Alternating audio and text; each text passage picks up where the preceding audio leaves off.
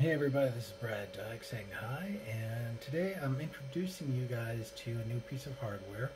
After going back and forth with a couple of you, including triple or double zero double eleven, um, I had um, decided that I'd go ahead and, and do a 10 gigabit enterprise level scale up from my Nortel platform up to a Juniper uh, series um, EX3300 24T, uh, and that is basically a 10 gig switch platform that is right here, and it is a very nice platform. It's capable of doing quite a bit. Right now, I've initiated a halt process, and as you can see, it's a really good addition with the 10 gigabit architecture in, integrated to it so I can begin to bring two other platforms into my environment while being able to splice off to my ISP and my 10 gig switches.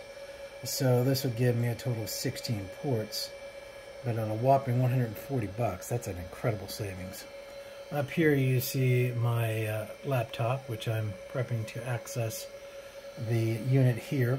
Um, when you get these units, they'll have a lot of uh, legacy errors occurred because of you know GBICs are gone or configurations are not correct or you're running into a state where you have um, previous configurations that are out there. So what it's recommended you do is you go out to the Juniper website and you initiate the process of purging all the values and flipping back to uh, maintenance default manufacturing levels so that you can have yourself set up. So I've done that and I've already initiated a halt here. Uh, surprisingly, as you can hear, it's not very loud compared to my mic. Uh, but when it does start, it does get a little bit noisy. So I'm going to go ahead and reinitiate it here. Nice and quiet. And then I'm put it back in.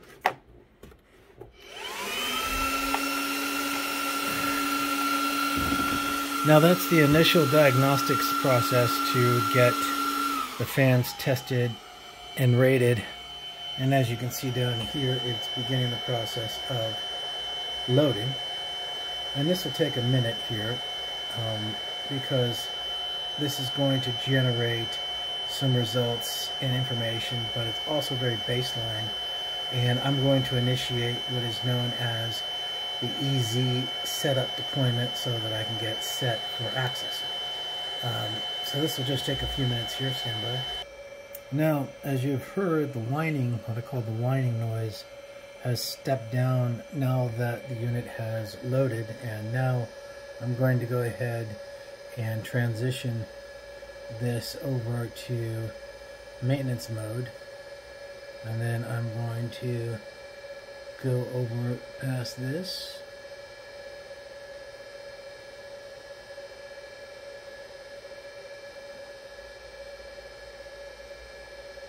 and I want this guy right here. Easy setup. Press that. And confirm. And now it's initializing. And so with this I'll go through the process of staging this array and getting it prepped. So port ID should be port 0 which is this guy right here. I'm getting some telemetry traffic so let's do a port config and check.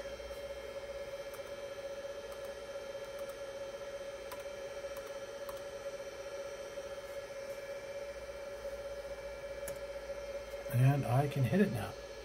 And that's all it took.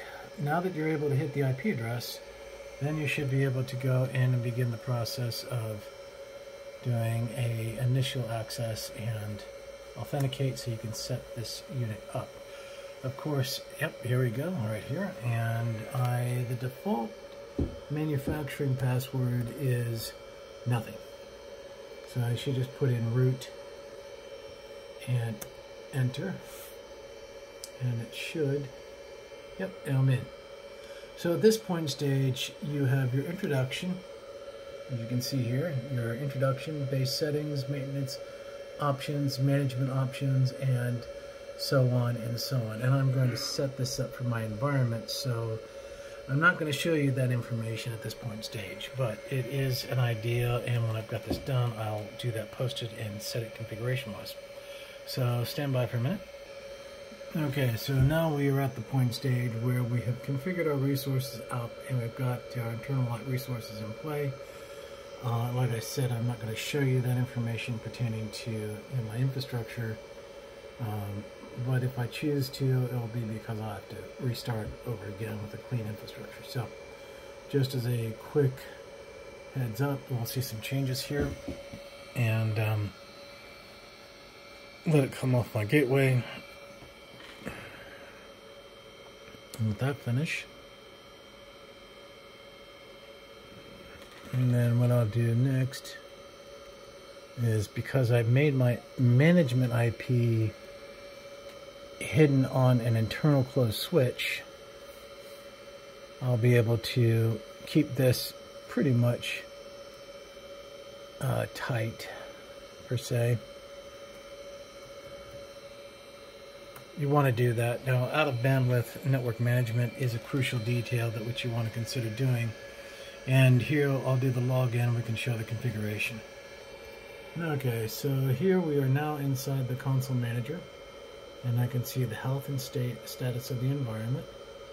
Up here I'll have all the, the technical information which you need and of course a graphical representation of your outputs.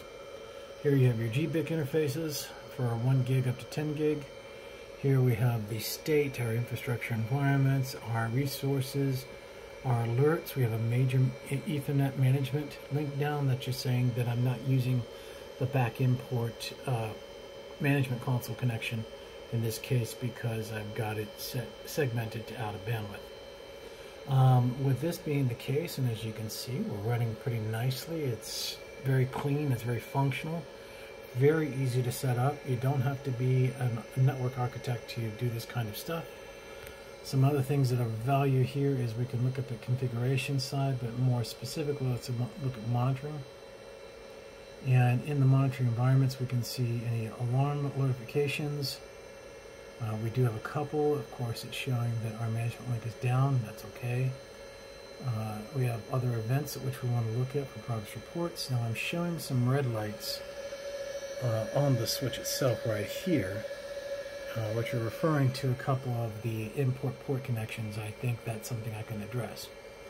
Uh, but you can still continue to go through um, how the system is developed and, and strategized right here as you can see. We're looking at the system profile now. One thing I did notice that this system takes quite a while to boot about four minutes.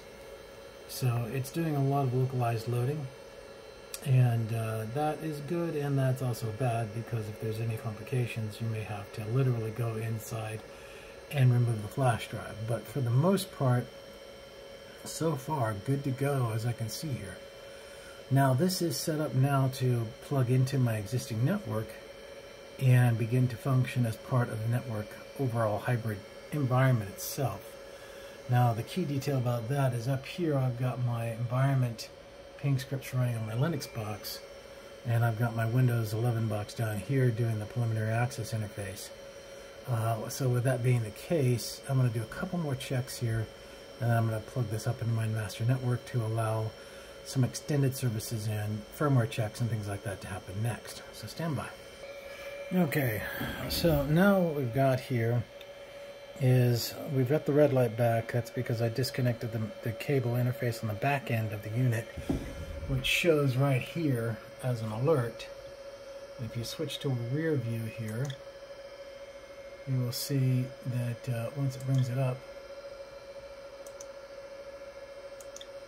right there, it shows that port inactive right there. Because that's inactive, it's going to give you this alert down here that you're offline and that it's a major issue. To me, it's not an issue because I'm changing the way I'm managing the device through common interface because it is an isolated device, switch-wise, than the other environment. Okay, so now I've got here a 1 gig GBIC 850 nanometer set, and then three 10 gig um, nanometer style GBICs is here as well. And the GBICs are basically, uh, in this case, a fiber GBIC, XPF style, as you can see here. And it has the interface here. And this one is an Intel series. And usually what I tell people is, is if you've got these in sequences, make sure you plug them up in sequence. That way an Intel is to an Intel, or in this case, a Finisar, Finisar is, you know, going to be uh, going to the same class adapter. The only thing that's inheritively different is the GBIC, the one gigabit GBIC, this guy right here. He is actually very straightforward, no nonsense, uh, one gig baseline GBIC and I'm going to use that as my uplink to my 1 gigabit ISP provider service. So I'm putting that guy in, and I'm going to go up here and I'm going to flip to see our state. And it's showing inactive state set in play, which is good. That's fine. And I'm going to put each of the other GBICs in to get them to register correctly. And let's see here. I'm getting some responses, that's good. Alright, so what I've basically done now is I've got the GBICs lined up. The three covered are the 10 gigs. This is the 1 gig right here. And when I place this into the server environment in my next video, you'll be able to see that in action. So with that, I'm just kind of giving you the roadmap on how we are facilitating this new part of the test phase. And this is my internal closed loop infrastructure IP address. You can't get to that. It's on a, an isolated switch network for management. But it's just to give me a resource that I can have a very fast backbone uh, to do my backup jobs and things like that. Things that I keep away from the front end network that's related to the internet. But that's why I've got this guy right here, is if I need it, I can bridge it very easily. So um, there are two types of layers of network that I like to work with beyond the management console network, and that's of course your backbone, which is where you're doing all your data moving, and then your front end, which is where you're providing services. So, with that being said, this is uh, Brad Dyke signing off. I hope this works out really good for you guys. This is really cool. Um, I've saved up money for to do this because you know I don't have much to work with. Everything I do here is strictly on a resource-based effort to try to help everybody out there in the world these days. Well, this is me signing off. Uh, God bless and have a great week. You guys take care.